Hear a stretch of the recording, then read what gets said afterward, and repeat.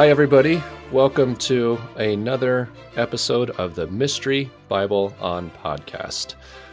I am here again with our uh, esteemed co host, Mr. Dan Rundio.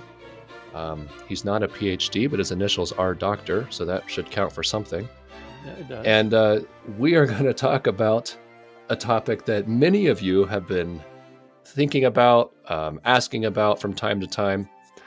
We are going to discuss the famous or infamous book of Enoch. There's so much to say about the book of Enoch, and I wanted to bring Dan in for this conversation. And as I always say, we could do many episodes on the book of Enoch. There's a lot there. But for those of you who have no clue what we're talking about and are searching the table of contents for your of your Bible, trying to figure out what we're talking about, uh, rest assured, we're going to give you uh, plenty of context and plenty to think about. But it is a very timely and meaningful conversation to be discussing the book of Enoch here and now. And Dan is a great co host for this. So uh, thank you all for being with us. Thank you so much, by the way, for sharing this podcast and telling people about it. We have literally dozens of listeners, which is so exciting to see. And we're so gratified to see that people are, and we're getting messages too from people uh, who know us from you know former lives and are saying how much they're appreciating the podcast. And that just that that means so much. That's why we're doing this. It's it's really the only reason. We want you all to be edified and uplifted. We want you to be uh, re-examining your bible in closer detail. We want you to be uh, igniting your love of scripture and getting so excited about scripture uh, we're not here saying we know all the answers. We're just looking at real interesting materials and saying, what does this tell us about our Creator? What does this tell us about our Savior? What does this tell us about the Word of God? And there's a you know, there's a lot of a lot we can take from these things, even inside the Bible and outside the Bible. So you're going to hear the Bible reference tonight, but you're also going to hear a very, very, very old document, very controversial document called the Book of Enoch. So I want to welcome my uh, good friend and esteemed co-host, Mr. Dan Rundio. I don't think he needs that much of introduction, so let's not spend a lot of time there. But um, Dan, go ahead and jump in with your initial impressions or thoughts or basic introduction to the Book of Enoch, and I'll I'll try to avoid interrupting and talking over you and my, my excitement as I as I often do. Um, I'm so glad you're here, and I'm so glad we've been able to to work on these things together. It's really a, a pleasure and an honor to uh, have this neat conversation about this incredible document with you here with our listeners. Yeah, thanks, Joel. It, it is fun. It you know this is another one of those books. I mentioned in the Imagine Heaven book that I wouldn't have read it unless you had recommended it, and it was the same thing with the book of enoch. You know you you hear these books that aren't in the bible that were rejected from the bible and you think as a christian you should avoid them. And um, and then you dig a little deeper and you realize okay it's not scripture it's not in the bible but that doesn't mean it's something to be avoided altogether. And, and in fact as you read it uh, and and you see that referenced in the Bible, and and you realize it does have it does have value to offer, even if it's not scripture. So, Dan, just in your opinion, why might a Christian bother picking up a copy of the book of Enoch? What's the point? And, and, there's a very good argument that many Christians would make of the Bible has everything we need. And by the way, I, I buy that argument, and I think you do too the the bible is not lacking in any way. The word of god is complete for everything we need. It's what he's preserved for us. But we keep talking about all these other things kind of around the bible and saying there's some value to them. What is the value to any given christian to read some weird old scroll like the book of enoch? What's the point? Yeah so i was actually explaining that to somebody earlier today and and compared the book of enoch to imagine heaven in that way. Even though Book of Enoch was written thousands of years ago, Imagine Heaven is recent. Neither of them are the Bible, but they both do things that help clarify, it help give you some context for things you read in the Bible and things you already know are true. And and so the Bible is still the ultimate truth, and and you've got to take everything back to Scripture and, and the Word of God. Uh, but there's lots of other good books out there that you know truth is still god's truth And you know, C.S. Lewis wrote great books. They're not the Bible. You can't rely on them the same way as the Bible, even though they have a lot of truth in them. And so it's same thing with Book of Enoch. I think it it it does uh, give some more color and detail into some things, and you know it's a book that the the writers of the Bible were familiar with. Yeah, I, I think that's a really, really good point. And if I were to answer the question, I think the answer you gave is great that there's a lot of stuff around the Bible that's helpful. And Paul references outside things. Uh, by the way, the Bible, the text of the Bible references, I, and I'm pretty close here. I might be off by plus or minus five, but not plus or minus 50.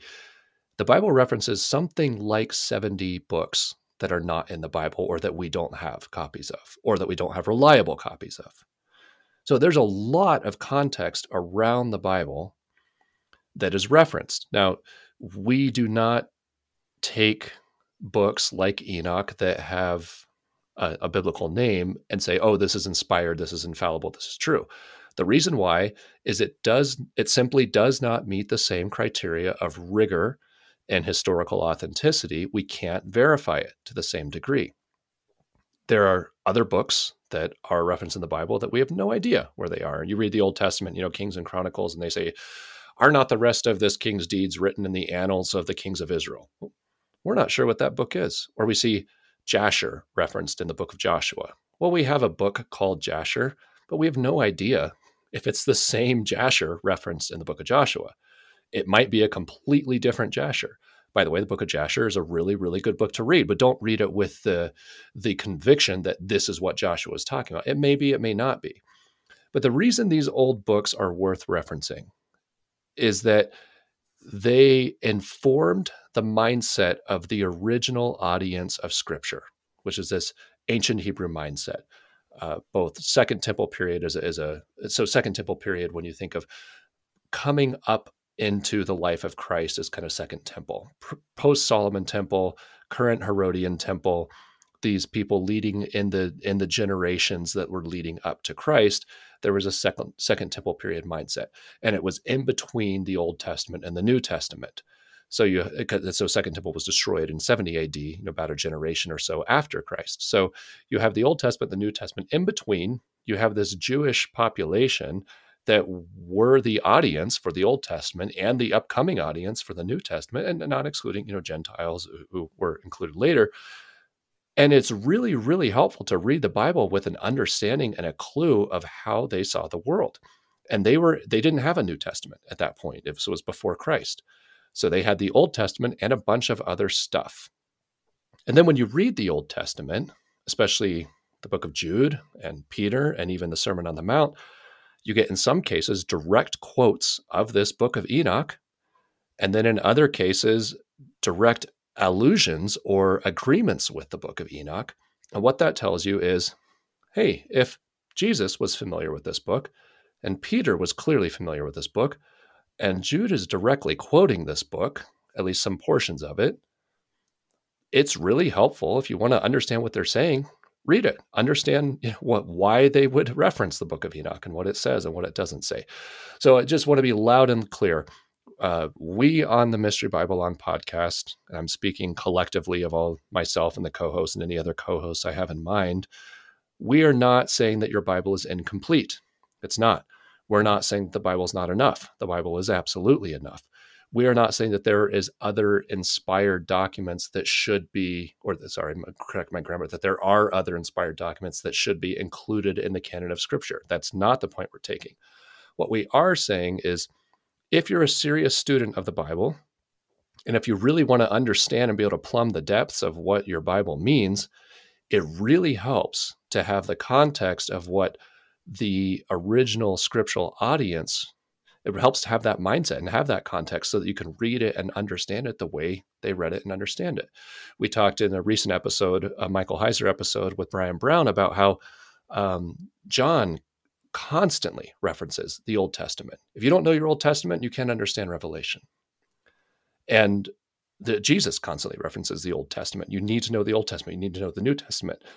And then there's this other stuff that they reference as well. And if you want to understand the kind the kind of references they're making, it really helps to read the materials that they were reading. And the book of Enoch, as far as we can tell, is one of those source materials that was being read by Second Temple period Jews, possibly Jews way before that, and possibly even other cultures way before that. We can't say that conclusively. So, Dan, is there anything you want to share in terms of the history of the book of Enoch, the biblical context of the book of Enoch, anything that you just uh, think gives people some traction and understanding why this book and not these other weird apocryphal books that showed up, you know, 500 years after Christ, claiming to be the testament of this person, you know, testament of Mary or this other stuff. We don't take those very seriously, but this one we do take seriously. And why? Why the Book of Enoch? What's so serious about it? Yeah, well, there is an important distinction there. Is that there's could be several things that people are talking about when they mention the Book of Enoch, and we're talking about a, a specific part of a specific one of those books. So, I think it's usually referred to as First Enoch and uh, we're really talking about the first 36 chapters, which is uh, what we have the most uh, evidence of uh, as far as being the oldest and uh, existing for hundreds of years before Christ. Yeah, I'll, I'll give just because I was looking it up earlier today, I'll give the quick uh, history on that. So, Enoch, there are three major books of Enoch one Enoch, specifically chapters one through 36. And you think of chapters, you're like, oh my, that's long. No, some of these chapters are like four sentences. So it's not long. You can listen to it on audio in like an hour or two, the whole first book of Enoch. Um, chapters 1 through 36 is commonly referred to as the book of the watchers. The reason we take this section of Enoch very seriously, and this is pretty much exclusively what Dan and I will be talking about tonight, is it has far and away the most historical evidence for predating Christ. There's a lot more to the book of Enoch. There's um, Enoch 2 and 3 and the apocalypse of the animals and all these things, which is not the same thing as the book of the giants. Um, all that showed up later. So there were essentially two versions for a long time of the book of Enoch. One was an Ethiopic version. There were three manuscripts of the Ethiopic version and they were first kind of waved in the air and touted about in about 1773. So right around the time that the United States was becoming a nation. Then there was a about a hundred years or so later, there's a Greek copy of the Book of Enoch, and that had Enoch one through three. But these these were, you know, you you have some copies showing up nearly 2000 years more than a thousand years after christ and going on 2000 years after christ of this very old book that had been preserved with this kind of murky background in history. And we knew it was a big deal especially because we could find some quotes of it from scripture but you didn't really know if it predated the new testament. Well then in 1947 you have this event that you hear us talk about a lot called the finding of the dead sea scrolls uh, shepherd boy in qumran in the southern part of israel finds a pottery jar and then finds out that there's a whole lot of pottery jars and a lot of caves. Uh, get, he gets some um, archaeologists involved and they start pulling out these scrolls that are uh, just definitively, absolutely predating Christ. And in, among these scrolls, and there's a lot of them, by the way, and Enoch wasn't found until the fourth cave. Um, among them, you find every single book of the Old Testament and that's really cool. So I've, I've seen, I've literally laid eyes personally on the Isaiah scroll, and I'm not a linguist, but if you translate the Isaiah scroll from predating Christ, and the Dead Sea Scrolls are probably two to three hundred years before Christ, by the way, it's the same Isaiah that we have today. So what that says is, oh, our Old Testament record is very sound. You can go back 2,500 years and find the way they explain the Old Testament and the, the copies of the Old Testament they had were the same as ours. Well, included with the Dead Sea Scrolls are lots of other scrolls. Jubilees is one of them. We haven't talked about at all about Jubilees. Uh, we, maybe we'll do a future episode on that. Uh, and Enoch is another one, specifically Enoch 1 through 36, the first book of Enoch. Now, the later books of Enoch have not yet been found in the Dead Sea Scrolls. So that's why we focus on this first book and say, we can say with some uh, you know, authority that this predates Christ. It probably comes from a very, very old source. But even if somebody made it up and wrote it right before it was buried, which isn't likely because they probably wouldn't have taken the trouble to preserve it, then it's at least 300 years older than Jesus. And Jesus, you know, being Jesus's birth. So that's an extremely meaningful archaeological record. And then piling on top of that, the fact that Jude quotes the book of Enoch directly, especially the, the very beginning of the book of Enoch. And Peter directly alludes to it. And Jesus says a handful of things that are very much in line with the kind of language and the kind of allegories that it uses. What that tells us is, gosh, we should take this really, really seriously.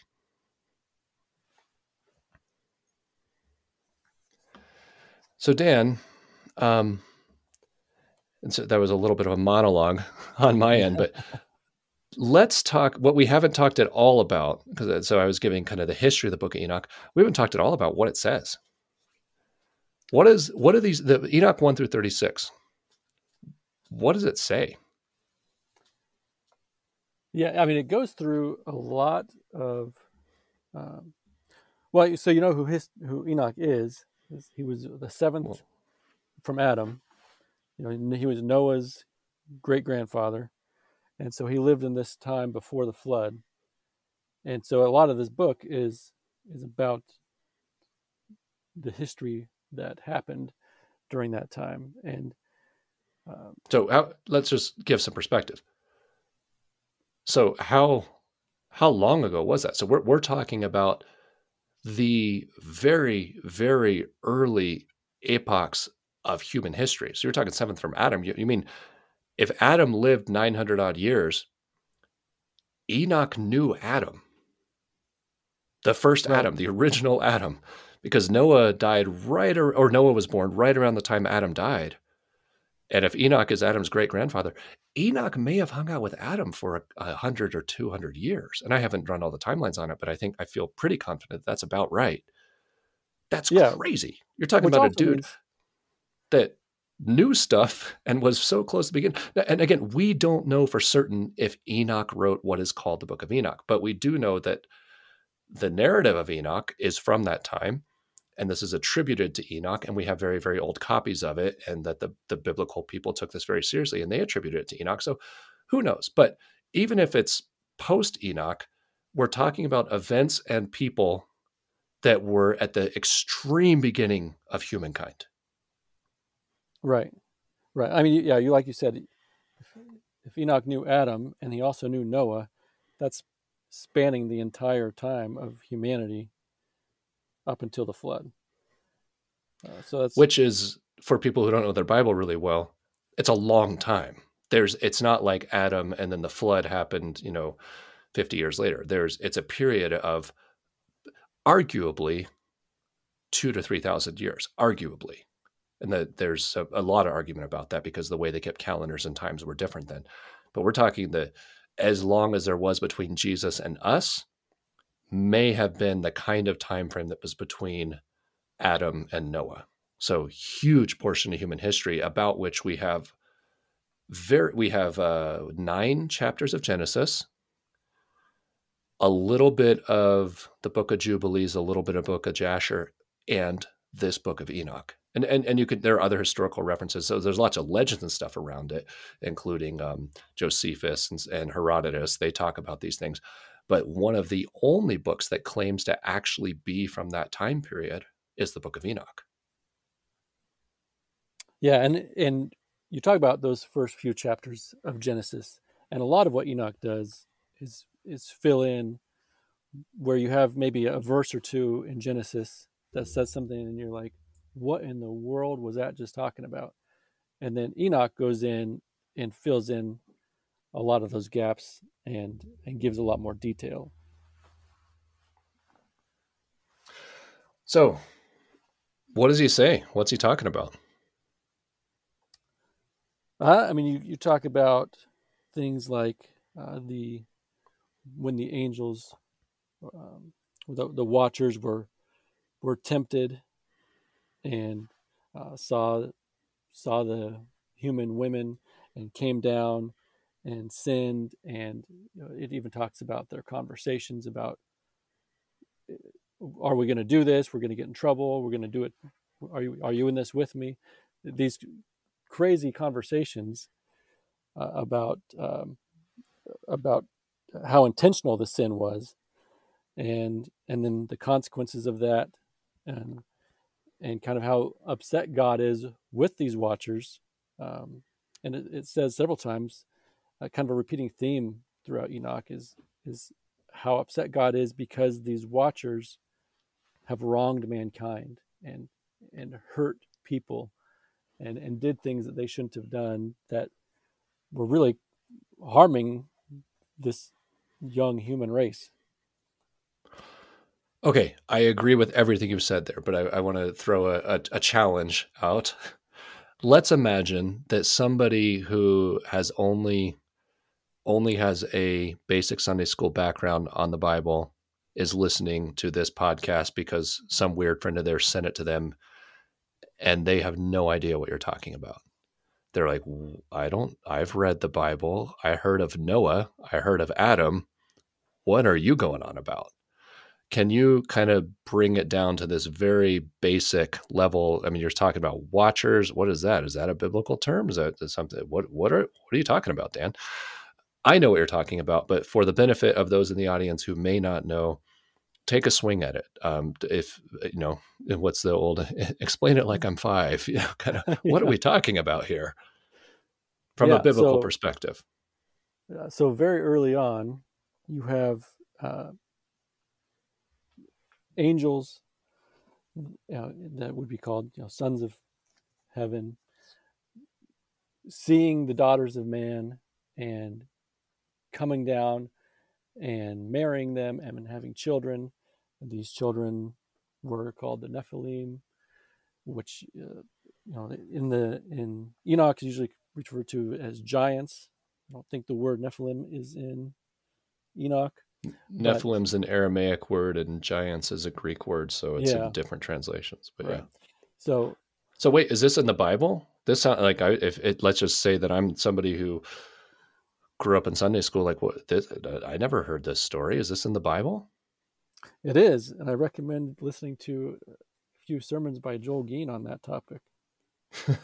on, on, on the the Aletheia Church uh, Colorado YouTube site, which is still up and running, by the way. You can still pull these down.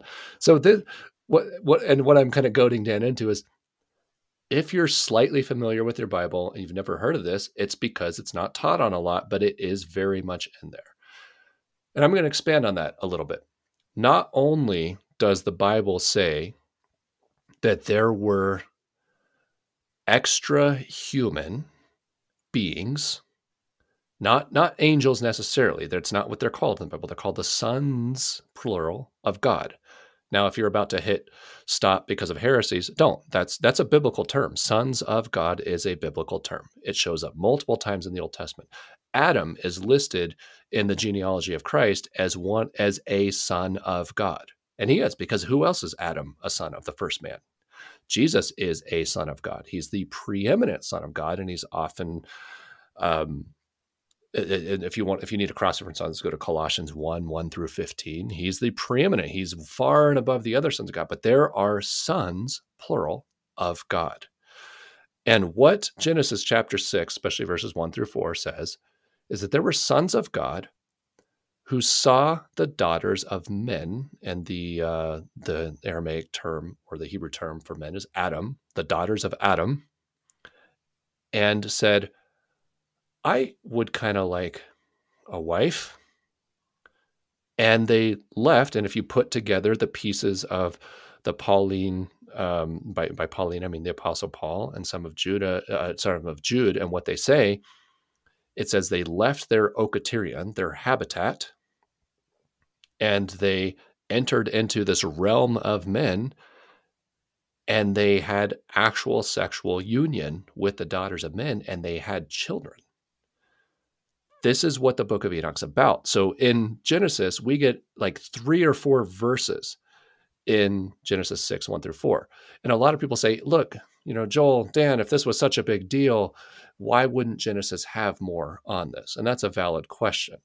And I would answer that question by saying, because anybody from the ancient time was very, very familiar with this narrative and it didn't need to be repeated.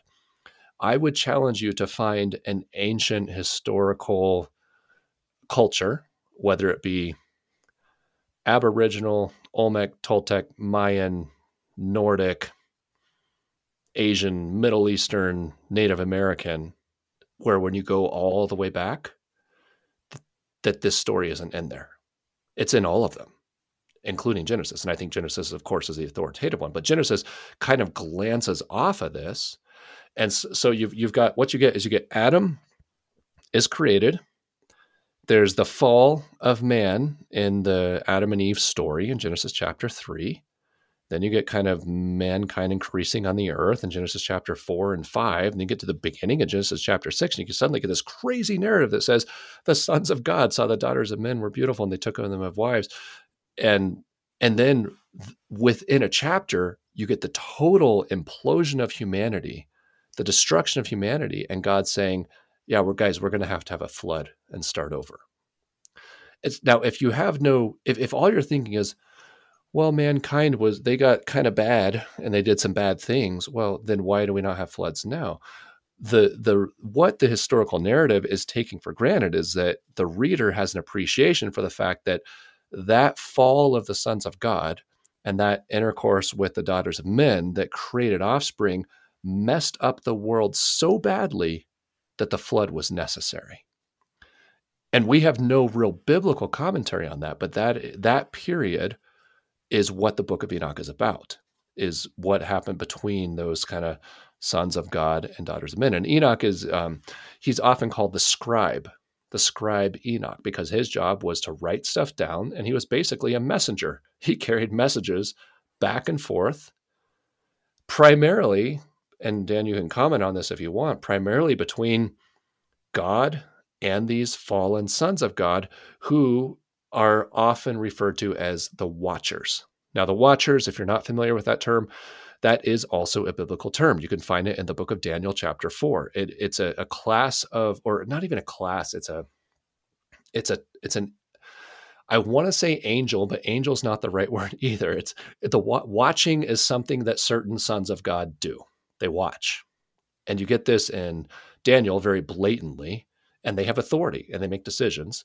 But then you also get these allusions to it in Ezekiel and other places where they talk about these angelic beings being symbolically covered with eyes, which means they're watching, they're watching. And one of the things Enoch describes is the first role of the watchers among God's creation of humankind was to help them out.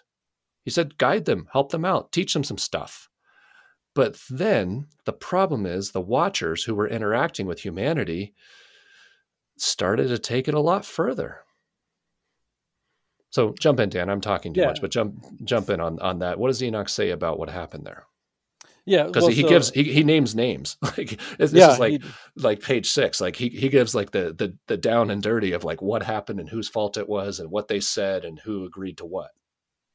Yeah, and like I said earlier, there was there's a very interesting conversation recorded, uh, and I'll, I can just read part of it here. This is in chapter six, uh, I'll just. So you're in Enoch, Enoch six. Yeah, I'll I'll just read all of chapter six because it's only yeah. like Joel mentioned. These chapters are some of them only a couple verses. So it says, and it came to pass when the sons of men had increased, that in those days there were born to them fair and beautiful daughters, and the angels, the sons of heaven, saw them and desired them, and they said to one another, Come, let us choose for ourselves wives from the children of men, and let us beget for ourselves children. And uh, Semyaza, who I'm not sure how, how to pronounce that, who was their leader, said to them, I fear that you may not wish this deed to be done, and that I alone will pay for this great sin. And they all answered him and said, Let us all swear an oath and bind one another with curses, so not to alter this plan, but to carry out this plan effectively. Then they all swore together and all bound one another with curses to it. And they were in all 200, and they came down, came down on Ardis, which is the summit of Mount Hermon. And they called the mountain Hermon because on it they swore and bound to one another with curses. All right, super helpful context. And I'm, I'm going to give the Cliff Notes version of that. So, Mount Hermon is a mountain in northern Israel, it's the highest point in Israel. And what this is saying is 200 angels, angels who and I'm using that word loosely, sons of God, watchers, who predated the creation of mankind. Again, if you're freaking out, you need to go listen to some earlier episodes. That's biblical. They predated the creation of mankind. Saw the daughters of mankind and said, We're going to do a bad thing. We're going to leave our primary and I'm using the word habitat because the, the Greek word that's referenced is oiketerion, and that's a good translation of it. We're going to leave our habitat and we're going to join the human habitat so we can have these wives. And they do. So that's in Enoch 6. It's also in Genesis 6, 1 through 4. This is not disputed in scripture. There are some people who try and say that sons of God just means the righteous men saw unrighteous women and were attracted to them and had some offspring of dubious origin who maybe weren't very righteous. That is not at all what this is talking about. This is talking about an extra human race that predates humanity, the angels, right? I mean, is Gabriel a human? Is Michael a human? No, they're not. There's something before that and this names names and says Shemyaza had a conversation with a bunch of his pals. I was like, "Hey guys, if we're gonna, do, are you guys gonna leave me high and dry?" You know, it's kind of. I, I remember. I'm gonna tell a very quick story, um, and I don't know if Ed Peak is listening. Adam Peak may listen later, but uh, once upon a time in my youthful indiscretion days, many, many, uh, actually more than 20 years ago, I was dry ice bombing a house that happened to belong to Ed Peak and I had a cohort. I had a buddy who was my getaway car, and uh, not necessarily through his fault, but because a cop showed up in the middle of my dry, dry bombing of Ed Peak's house, my getaway car left, and I was high and dry, you know, standing there with, you know, absolutely red-handed, going, "Oh no, I have nowhere to go." So that's what Shimyaz is. He's like, guys, if I go down and take a human wife and humans are of the dust of the earth. Adam's created of the dust of the earth. He, he's he's a he's a terrestrial being. He's of the earth. And he's saying, if I, who am not of the earth, go down and take a wife who is of the earth, I know I'm breaking a lot of rules. Are you you you 200 dudes? I use that term more loosely than it's ever been used. uh, are you guys for sure coming with me? Because I'm going to be in big trouble. And what Enoch says in Enoch 6 is they all agreed and swore, like, yeah, we're going with you. We're not going to leave you out there. Let's do this. And they did. And they descended down upon the summit of Mount Hermon. And I think there was a, I, I don't want to get in in this episode. I, we can get into it later. Um, of you know, physically, well, can angels you know have physical union with women? Yes, they can. There are many Orthodox sects that's S E C T S that say that that is impossible and it's all on this weird spiritual level. That is not what the Bible describes. It's not what Enoch describes, and it's it's not biblical. They physically entered the realm of humanity and physically had union with human women and had offspring. And those and offspring, offspring, were, were a problem. Yeah, go for it. Go take because that that was the problem is they had offspring. In other words, the first problem is that they they disobeyed and took these human women. The second problem is and they made babies, and these babies biblically are called abominations, and they shouldn't have happened. All right. So one one comment before we dive into that is the the significance of Mount Hermon. Uh, remember, this was written before Christ, and Christ came, and the Transfiguration happened on the summit of Mount Hermon. So, you know, just put that together. It's, it's a Mount Mount Hermon's a big deal. I live in Monument, Colorado. There is a Mount Hermon here. It's not the same Mount Hermon, but it's a good reminder. Mount Hermon's a big deal in Scripture. It's it's a very big deal. It's an extremely important place. All right, so back to these these horrible offspring. Uh, the and if you if you're curious about reading this book uh, just as I was, I was going through it. If if you just want to dip your toes into the book, I would read chapters six through ten, which is not going to take very long, and then you'll probably go back and read one through thirty six. But six through ten is where a lot of this the, the real meat happens here.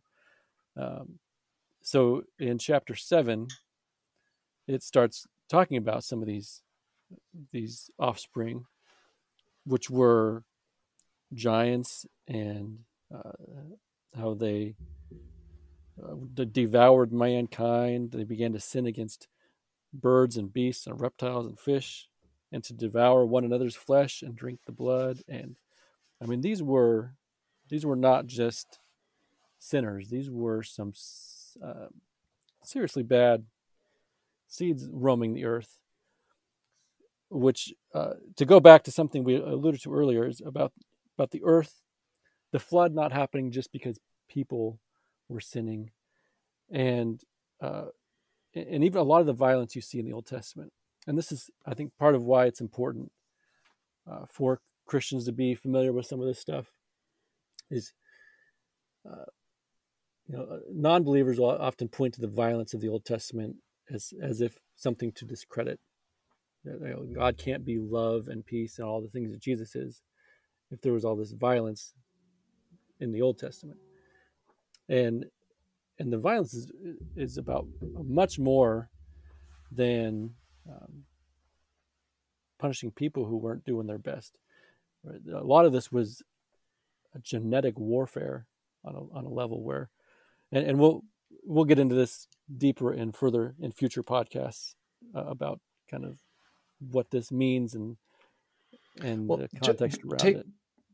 Just to give a teaser, why genetic warfare? Why is it so important that the human race is destroyed? Uh, because and I, I have my answers, Adam, but I think yeah, better too. Go ahead. Yeah, I'll, I'll, I'll shoot for it.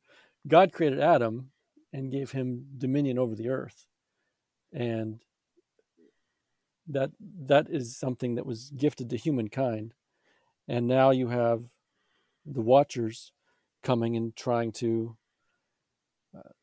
take that away and and kind of intermingle themselves with with humanity. And so when you know what you talks about the Bible talks about and Enoch talks about how Noah was pure in his generations and you know basically a pure human actual human bloodline and and the the importance of that and that you know then Jesus comes along and he refers to himself often as the son of man uh, because he was fully man and fully God and that and they took is, they took his generations all the way back to Adam to right. to prove it. They prove right. that he is actually fully human. Right. So what do so, you think, yeah, Joel? So I, I think well, first of all, so that that's exactly right. That humankind is really important because it has the dominion of the earth. And um, you know, if we had Tim Alberino as a guest, hint, hint, I want to someday. I don't know if we will, but I, I, know you and I have read a lot of his stuff. You know, he'll go into that. Yeah. Additionally, and on top of that, the reason why the just to overuse the term, the broadly fallen term, fallen angels, the reason why the fallen angels, plural or singular, would want to destroy humanity is because in Genesis chapter three, then God, the creator, told Satan, or the evil one, who is also referenced in Revelation as being the one who was in the garden, except then he's a red dragon, but he's the serpent of old, that the seed of the woman would crush his head.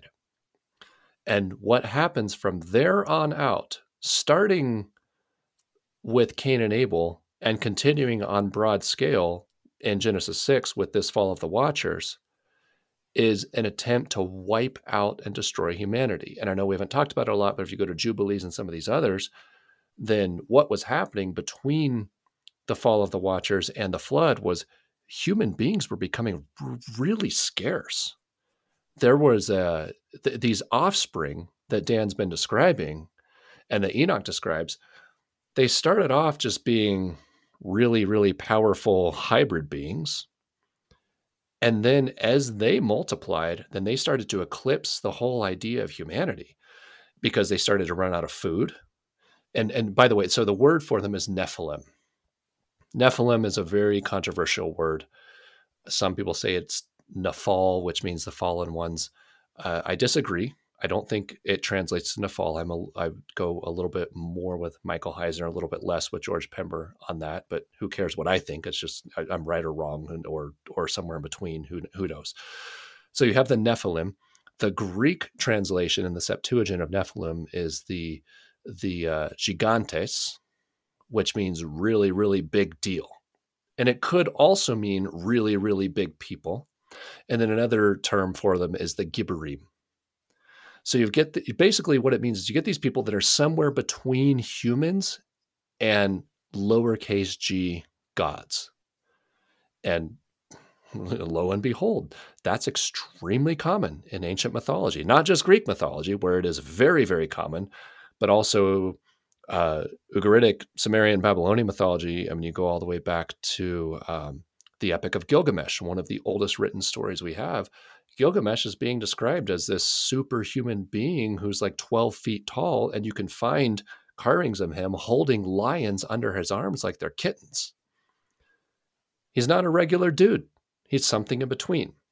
So you get this generation of beings that are the resulting offspring from these angels falling and having sexual union with human women, and they have children.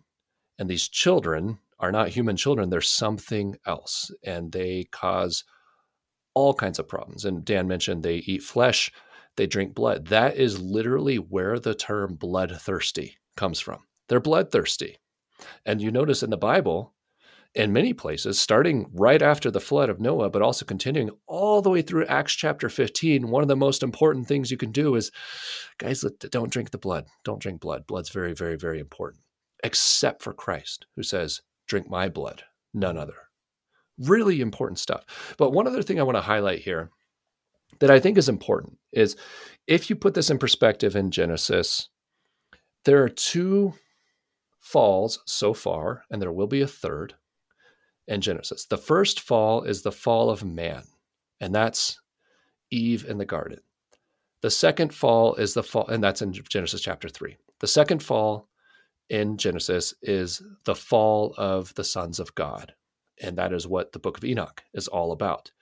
And the third fall comes more like circa Genesis 10, 11, 11 specifically, is the uh, the fall of the nations, which is in Babel. And so we'll, we'll talk about that another time.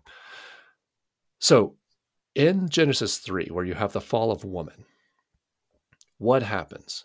You have the woman who is a very special creation for Adam. And I want to highlight, because is very important, only Adam gets a wife the woman is a special creation in Genesis, the first few chapters of Genesis, and she gets a, Eve gets a, a, long description in of her creation, versus Adam, who gets like a verse or two. Eve gets like a chapter, and there is a, a really intricate description of the creation of Eve. And and I think that's really important. Just as, as we you know just walk through our lives as human beings, I think we should not take for granted that woman is a really, really, really important and unique creation. And it, as far as we can tell in scripture, and Jesus even has some commentary on this, there is no parallel creation in the, for lack of a better term, angelic realm. The watchers don't seem to have wives. Now, I, there, people will disagree, whatever, whatever. But biblically, I cannot find that the watchers have wives or offspring, except for when they see human wives and go, wow, that's an amazing creation. I want that. So I think the creation of woman in Genesis is extremely important. And Adam's exaltation over the creation of woman when he says, This is bone of my bone, flesh of my flesh. And God says, Go produce, bring forth offspring, fill the earth and subdue it. That's an extremely unique and profound charge. Then we just get a couple chapters down the road where these watchers are going, I kind of want some of this. So here's where I want to contrast this. The fall of the watchers in Genesis 6 and in the book of Enoch is a mirror. By mirror, I mean inverse fall versus Eve in the garden. Because what does Eve do? Eve trades herself for knowledge of greater things. What did she eat of? She ate of the tree of the knowledge of the good of good and evil, which is described, by the way, in Enoch. You want to know what the fruit looked like? It's an Enoch. He describes the tree and the fruit and what it looks like, and it's not apples. It's a that's a that's a, a modern thing. It's not an apple on the tree. So Eve trades herself for knowledge of good and evil. Adam goes along with it, not because he's deceived. Paul's clear on that. He wasn't deceived. He knew what he was doing. He goes along with it to support Eve. He wants to be with his wife. And then a couple chapters later, you have these watchers who are trading knowledge of higher things so that they can have, and I'm going to use the word knowledge again, knowledge of woman. And the reason I use that word is because if you look at Genesis chapter 4, verse 1, it says Adam knew, and it's the same word, knew his wife Eve, and she conceived. And then you get watchers knowing human women in Genesis 6 and conceiving, while Eve had traded herself for knowledge of good and evil. So, Dan, what does it say in Enoch, or what are some of the things it mentions as these watchers trading in exchange? Because there's an actual exchange that's going on here. It's it's not, they're not just coming in and pillaging Earth. They, they are, especially their offspring. But when they first show up, there's a little bit of an arrangement and a trade that they say, if this, then that. And what does Enoch give us in terms of what was happening in those early conversations? And I'm going to throw a little speculation in here that may be completely wrong as to who and how and what and why. But what's being traded in uh, in Enoch? What knowledge is being handed around? Uh, well, in chapter eight, you have you have it talking about how they taught men how to make swords and knives and shields and breastplates, and made known to them the metals of the earth and the art of working with them, and bracelets and ornaments and the use of uh, basically medicines and makeup and things to beautify. It says specifically beautifying the eyelids and all kinds of costly stones, and uh, so a whole range of things from weapons to medicine to makeup and, uh, and and there's I think there's other sections too, but that's just one section that talks about it. Yeah. So what we get in Enoch is there's a, a transaction of higher knowledge being traded in exchange for wives, which I would say is another kind of knowledge. For I, I will I will trade you my knowledge of heavenly realms for knowledge of this earthly woman and that you know these watchers who by the way are not idiots. They're they're in many ways wiser more informed than we are are more interested in that than in the stuff they know. And it's you know metallurgy and herbs and makeup and sorcery sorcery is mentioned many times. Um, it's a which sorcery just meaning the these watchers exchange the ability for these human women to access these heavenly realms and taught them how to do it. And that was a big big no-no by the way. And and by the way file that. If you're listening file that because gosh that's that's going to that's going to inform so much. You want to get into the mounds of the giants and portals and all this kind of stuff and paranormal and eh, it's going to come back to the ability to access other realms human beings ability to access their realms realms. I mean that's that's divination it's sorcery it's um, necromancy. Uh, that's what this stuff is so somehow somebody told people how to do it, and in exchange, they got wives. I, I'm going to just float this. And this, by the way, is not completely original to me. Um, there's an author, um, I'm blanking his first name, but his last name is Pitterson. And he writes a, a, pretty good book on the Watchers. I wouldn't agree with every single thing. He discounts Enoch a lot, whereas I take Enoch very seriously. Um, but one of the things he points out is if you look at the genealogies in Genesis, then there's a man named Lamech. Now there's two Lamechs. There's good Lamech and bad Lamech. If you go to bad Lamech, bad Lamech, uh, who was a, a, son of Cain or a descendant of Cain, uh, as opposed to Abel, whereas good Lamech was a descendant of Seth, who was the kind of the successor of Abel, um, has daughters that are named beautiful and it's the only genealogy that describes the men and the women of the household and it says that he is a um, that he has multiple wives and he's also a wicked man as far as we can tell from the genealogy and all of a sudden you see this explosion of knowledge in his family and his sons suddenly become really good at metallurgy and music. One of his sons is Jubal, who becomes Jubilee. So, uh, and, and you have Tubal Cain. So, uh, you've got this family line that suddenly explodes with all this knowledge. And I think there's an argument to be made, and it's not a hill to die on, but an argument to be made that this is the family line where these watchers um, became active and said, Give me your daughters and I'll give you knowledge. And they said, Okay. And some things began to blow up there. That, all, by the way, it, it does line up with the timeline of when the Watchers ascended, you know, days of Jared and all that. So I'm floating that out there for those of you who are um, you know, four or five layers deep in this. Go go look that up. Tell me if you think I'm way off. That's fine. Uh, if if you all yell at me, I'm going to blame it on Peterson. You know, he came up with it first, but I think he has some merit to it. So let's go a little further into the book of Enoch. Who is Enoch in the book, and what's his role, and what does he do? Yeah, he's so he's I think you mentioned earlier, like he's a messenger going back and forth, uh, talking with God and and being shown some of these things that have happened, and also uh, uh, seems like talking with some of the these fallen watchers, and uh, almost being like a, a go between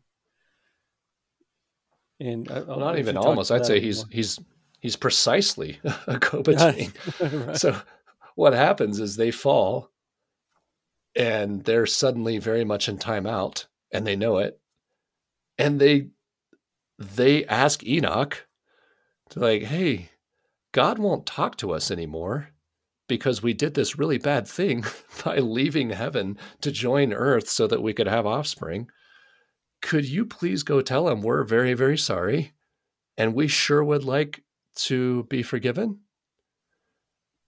And Enoch, to his credit, and, and again, we, we don't know, but this is what the ancient texts seem to indicate. He does. He he says, okay, and he brings before God, like God the Almighty, the Creator, he brings the plea for mercy of the fallen watchers and says, Hey, God, they're really, they're feeling terrible about this. They sure would like to have fellowship with you. Uh, is there anything you can do here?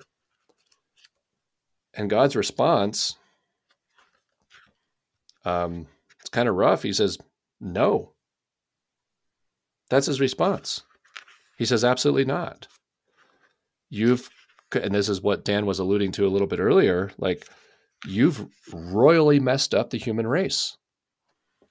And in no uncertain terms, you are not going to be restored to good standing. In fact, you're going to be banished into imprisonment. And this is, you can find this in the book of Second Peter, where he talks about uh, if you want to look up in you know, a Greek um, dictionary, Tartarus. They're banished to Tartarus they're banished to this pseudo hell. And and in fact, and then God has a conversation with Enoch, and I'm trying to turn to it here, but I'm not super familiar with this copy of Enoch, where God actually tells Enoch, he says, Go tell them, why are you sending Enoch to ask me for mercy when you should be actually interceding to me on behalf of man? So he says, Your job was to help lead and protect and guide mankind, and you've messed up mankind, and now you're sending mankind to ask for help? No. That's his response, which, from a Christian perspective, is really something. But when I say from a Christian perspective, who are Christians? Sons and daughters of Adam are Christians, not sons and daughters of God. In terms of now, now I'm I'm I'm setting up that tension on purpose who are Christians? Are the watchers Christians? No, they're not. Christ died for man and women, and you know, there's the sons and daughters of Adam. That's why Jesus refers to himself so consistently as a son of man. And so we have, we as men and women on the earth have this option. It's such a weak word, but we have this this open door of mercy, where we can say, I'm sorry, please forgive me. And the Bible says, you ask for forgiveness, you'll be forgiven. because Christ died for that. Jesus paid for that forgiveness. Well, set up the contrast of these watchers who Christ for whom Christ did not die biblically. And you can actually see that in Hebrews, it literally says Jesus did not die for the angels. He died for man.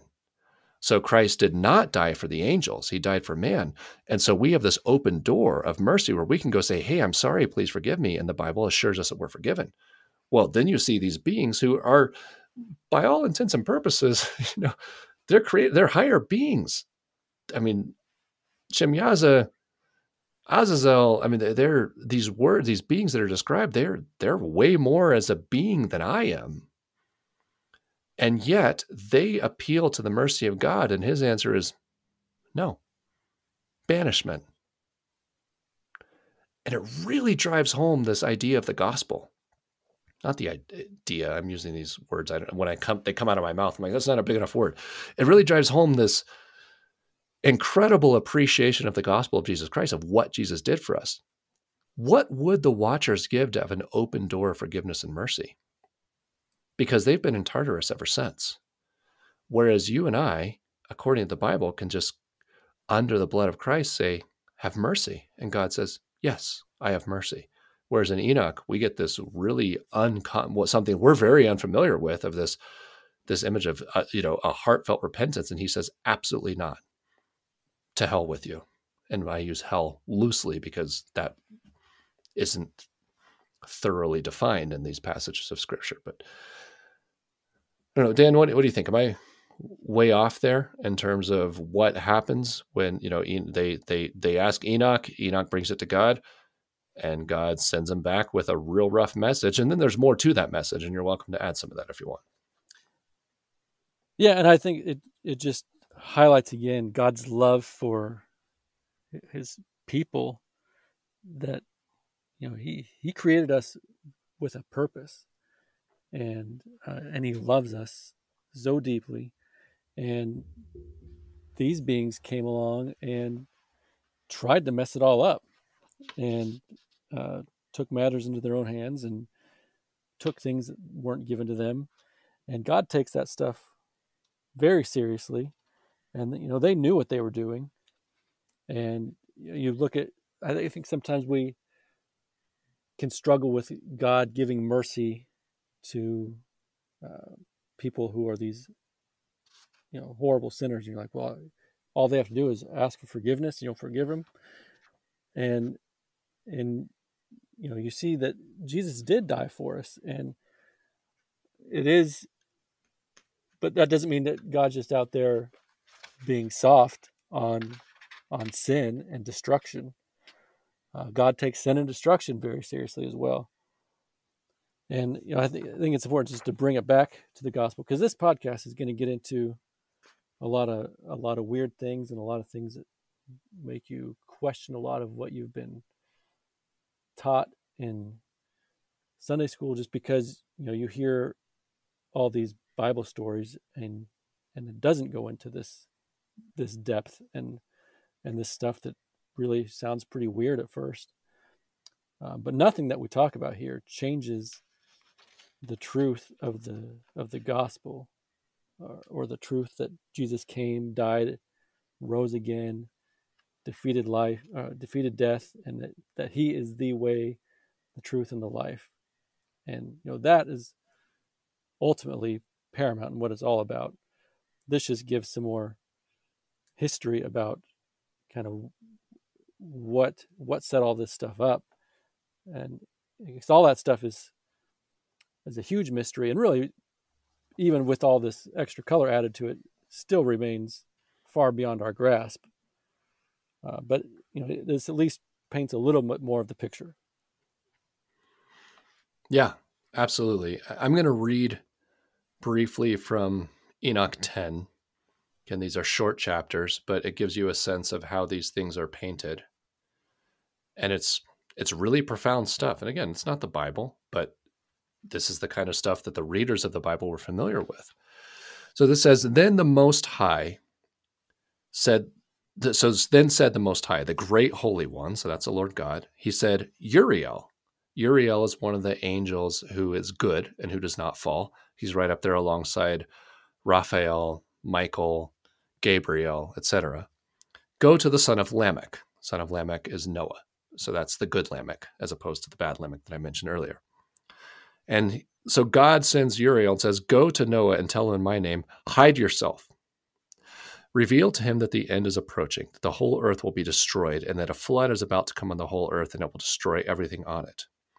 And now instruct him as to what he must do to escape, that his offspring may be preserved for all the generations of the world. And again, the Lord said to Raphael, Bind Azazel. Azazel was one of the leading fallen angels. So you had uh, a Shemyaza and Azazel were some of the ones that really, really broke the rules. Bind Azazel hand and foot, and cast him into the darkness, and split open the desert which is in Dudael, and cast him in. And fill the hole by covering him with rough and jagged rocks, and cover him with darkness, and let him live forever and ever, and cover his face that he may not see light. So that's that to me I'm going to take a shortcut here. That's Tartarus. When you go to the Greek concept of Tartarus, it's this alternative hell. And on the day of the great judgment, he shall be hurled into the fire. So that's fast forwarding to the great day of judgment, which has not happened yet, which we see referred to in Revelation. And heal the earth, which the angels have ruined. So I'm in I'm in um, uh, Enoch 10 7. I think this through. Heal the earth, which the angels have ruined, and proclaim the healing of the earth. For I will restore the earth and heal the plague, that not all of the children of men may perish through all of the secret things that the watchers have disclosed and have taught their sons. The whole earth has been corrupted through the works that were taught by Azazel. To him ascribe all sin. Now, if you want to get really weird about this, go to the book of Numbers, look up the um, the the the festival of the and uh, and Daniel will have to help me out on this, but the festival in the Book of Numbers where you have the goat on which is given all of the he's basically the scapegoat where all the sins of him are placed. If you look up the original Hebrew on that, it's Day of Atonement, sorry. Um, then that goat's name in the original Hebrew is Azazel. It's it's translated in your English Bible as scapegoat, but if you look at the Hebrew, it's Azazel. He's called the one to whom all sin is ascribed, and a lot of that's coming back to this early text. To Gabriel, the Lord said, Proceed against, and I'm going to use some strong language here, but this is how it's translated proceed against the bastards and the reprobates and against the children of fornication. So he's talking about those those offspring between the angels and the sons, uh, or sorry, the daughters of men that never should have existed and destroy the children of fornication and the children of the watchers. Cause them to go against one another, that they may destroy each other in battle, shorten their days. No request that the watchers, their fathers, make of you shall be granted to them on their behalf, for they hope to live an eternal life, and each one of them shall live 500 years. Then the Lord said to Michael, so third angel mentioned here, go bind Shemyaza, who was the other leader, the guy who originally made everybody promise, and his team who've associated with women and have defiled themselves in their uncleanness. When their sons have slain one another and they have seen the destruction of their beloved ones, bind them fast for 70 generations under the hills of the earth. Now that's weird. Hmm. bind them for 70 generations. That means that they're not bound forever. coming back until the day of consummation of their judgment, until the eternal judgment is accomplished. In those days, they shall be led off to the abyss of fire, into the torment and prison in which they shall be confined forever. Then Shemyaza shall be burnt up with the condemned, and they shall be destroyed, having been bound together with them for the end of all generations. So, kind of the consummation of that promise they made. So, here's what this is saying not a lot of mercy for these fallen angels. And the Lord really holds against them their destruction of humankind and he speaks against them these temporary judgments that will then be carried off in eternity which is it now if you go read the book of revelation you're going to have I, even just with that little passage i've read it's going to inform your reading of the book of revelation because that's the kind of stuff it's talking about. And then if you read the the feasts and how or sorry not the feasts but the sacrifices and how you have the scapegoat being attributed all sin and realizing they're talking about the same guy then, if you want to get really eerie, you can go into Josephus and some of these other places where it talks about why those sacrifices stopped after Christ died. This stuff all ties together. So now, reading those passages, just that short portion, it informs several other portions in scripture. And you can read scripture having a sense of what those original readers would have been familiar with and could have taken for granted, and why Genesis chapter 6, verses 1 through 4 doesn't have to go into great detail because there already was a lot of detail provided and people were already familiar with it. So it just didn't need to be uh, deeply explored. Like if I say, oh, it's like the Twin Towers, and then I just move on. Well, everybody of certain generations has so much understanding of what that means. I don't need to say a lot more because everybody knows that, you know, there's such a cultural impact of what that means. That's what this fall of the watchers and fornication with the daughters of men meant culturally it was very very well ingrained and you can't find an ancient tradition that doesn't have this included so it was so well informed that the bible didn't have to say much about it but we as these postmodern american western evangelical christians we have very little sense of it so we read this one verse and we're all confused about or these four verses of genesis 6 1 through 4 we're all confused about it and enoch gives us some perspective and it gives us, I think, a very good source of perspective on where that would have come from and why. So, Dan, we're a little over an hour here, and I really appreciate your participation. What else do you want to say about Enoch? And I, have got a couple of really weird and eerie things to point out that may or may not be valid. So, before I go off into left field, what do you think our audience should know or uh, should be thinking of when they think of Christ and the gospel and their Bible or all these things. How does this all play in together if somebody is uh, thinking about reading the book of Enoch or starting to appreciate this um, narrative from scripture? So I think one thing that's going to keep coming up in this podcast also is the importance of taking a step back and realizing that this whole story is not ultimately about us. It's it's about God, right? It, it all come, uh, ultimately comes back to Jesus, and we tend to be pretty arrogant, whether we will admit it or not, with the way we interpret things and read things, and we filter everything through our own experience. Uh, like, you know, with the for quick example, when it says um, they'll be in prison for 70 generations. If you try to do the math on it, you probably figure out what you think a generation is. What they're talking about as a generation is probably something very different. And so there's so many things like that with scripture where we don't have a, a real, as much of an understanding as we like to think, uh, even though we will say that we don't put God in a box, we really do, right? We we try to get all this kind of figured out in a way that we can kind of grasp it and understand it. And anytime we've done that, we're missing it because God is so much bigger and there's so much more to him and there's so much more to the story. But yet the story really does still all come back to Jesus and it is ultimately all about Jesus. And that's the the thing to really keep in mind is is as as you read this stuff and get exposed to more of this stuff, and it expands your view of what uh, the history of the universe really entails. To be open to that expansion of, of understanding, but also not to get thrown off by it because it still all does come back to Jesus. Well, I think that's a really good reminder and if you're going to take the book of Enoch seriously, say, okay, you have sons of God, daughters of men. You also have Adam being listed as a son of God. Well, who else is listed as a son of God? Jesus. He's the preeminent son of God.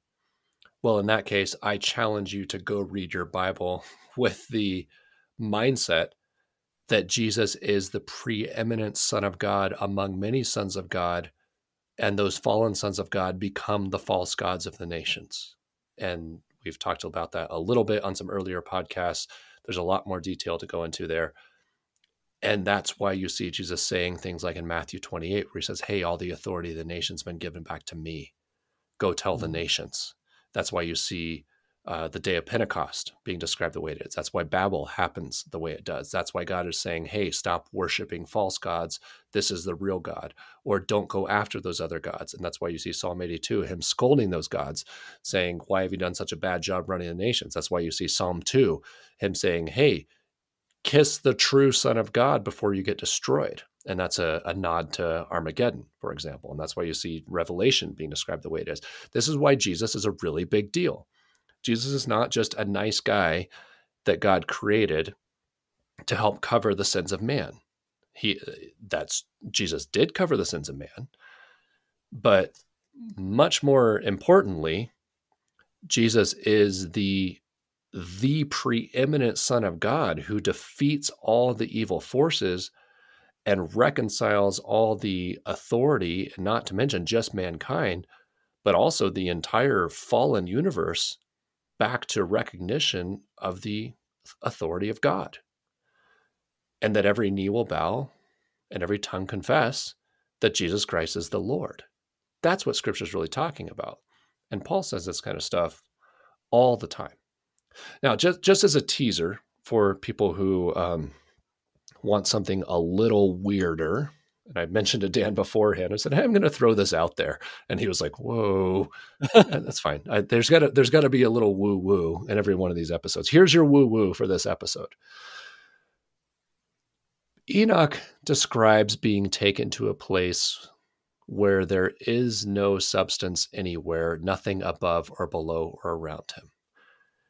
And that place is, uh, I would argue, space.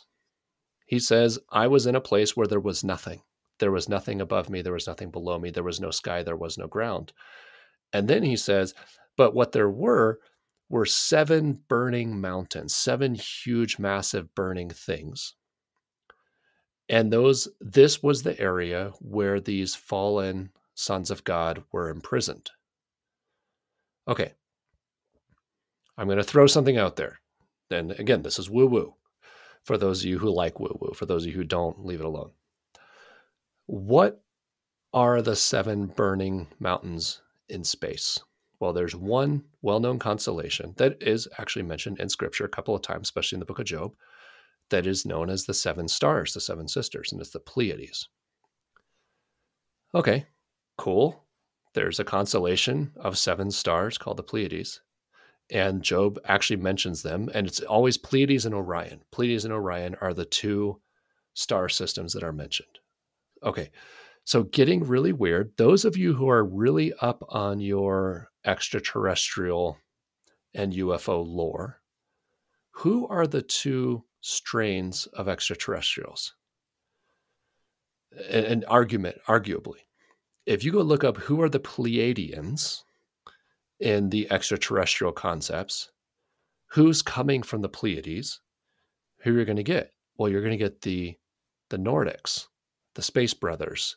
And if those of you who don't know what I'm talking about, that's fine. You can skip this. But those of you who do know what I'm talking about, your eyebrows are probably getting a workout right now. You get the Nordics, the Space Brothers, the beautiful ones, the ones who show up with beautiful messages for humanity, very much along the lines of Paul saying, Don't you know that the devil himself can show up as an angel of light? So I'm all I'm trying to do there is connect a line of consistency between the book of Enoch through the New Testament to the extraterrestrial literature today, saying something is associated with the Pleiades that is also beautiful fallen angels that have a message of what appears to be hope, but is actually corruption for humanity. And again, if we had Tim Alberino on here, I would hope that he wouldn't laugh at me and would maybe have would maybe agree that there's maybe something to that, because I think the uh, Pleiadians in the extraterrestrial lore, and when I say lore, I mean you know arising in the last 30 to 50 years, um, they're consistent. On the other side, you have the those from Orion or Scorpio. Uh, we'll save those for future episodes. But let me float that. Are the fallen sons of God in the book of Enoch and in Genesis 1 through 6? And was there binding in whatever Tartarus is? And some of you will say, well, that's in the earth. Maybe, maybe it is. But also, Enoch describes a outer space kind of seven star place and we get these beings coming from somewhere else claiming to be from the Pleiades. And apparently their binding was temporary. I don't know. I don't know. We're thinking about sneak preview for future episodes.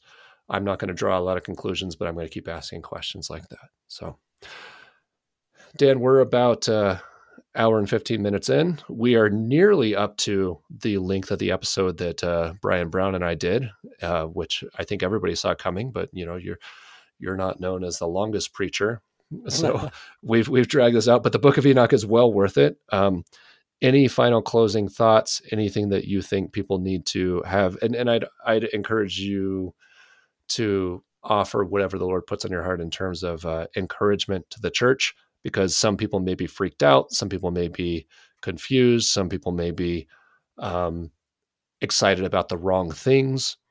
What do people need to walk away from this episode considering as far as uh, as far as on your heart?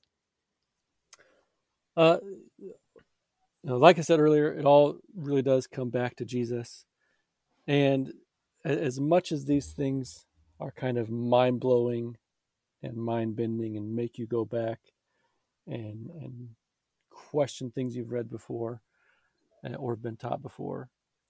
Uh, I mean, it, it's important just remember that we know who wins, right? We know we know the end of the story. We know what God has planned for those who love Him. We know that Jesus opened the way for us to be saved, and and so you as much as all this other information gets thrown at you and you start processing it keep coming back to that truth the gospel truth uh, because that is really what's most important. And I'll, I'll leave it with that. Well i, I couldn't agree more.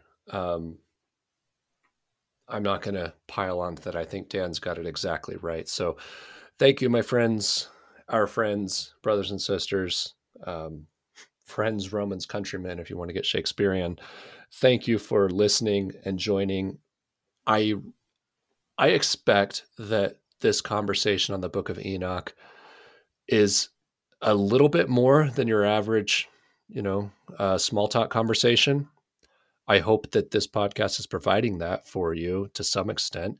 But more than that, I really hope it's inspiring you to have other conversations. I hope that this is um, something that sparks a lot of conversation, a lot of thought, maybe some reading, maybe some research, maybe some other podcasts uh, for you.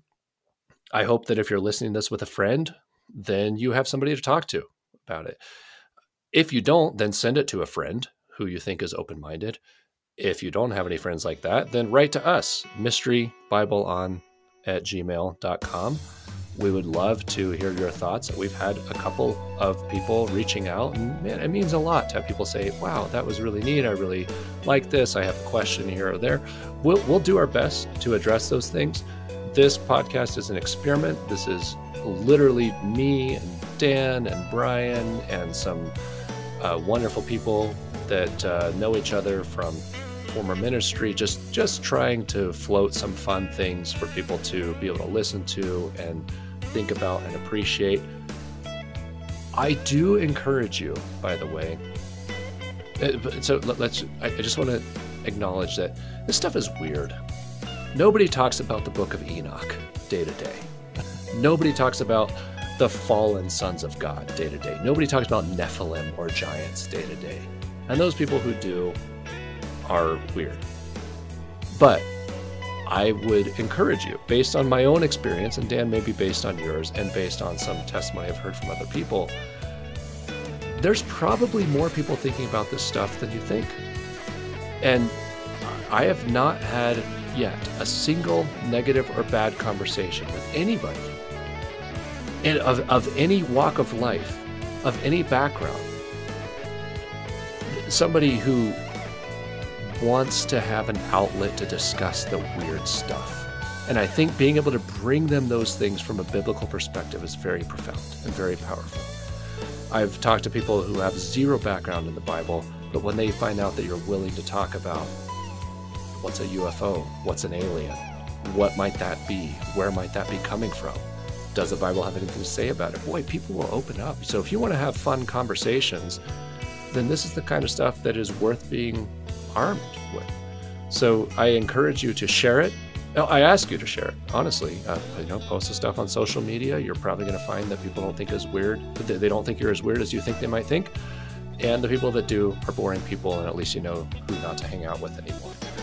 So just um, be open minded and recognize that a lot of other people really, really want an outlet for these conversations. They would love to have a place to see what the Bible has to say. They want to have a rational conversation, something that's not informed by, you know, LSD and weed and, um, you know, woo woo stuff.